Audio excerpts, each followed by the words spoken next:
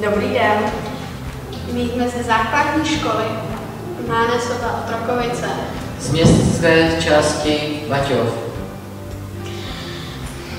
Dobrý den, jsem Vladě a zabývám se tématem palma olejna a jak škodí životním prostředí. Mé jméno je Tereza Hrošková a vedle mě je Nela Pavlušová. A my se zabýváme uh, mořskými želvama a jejich ochranou.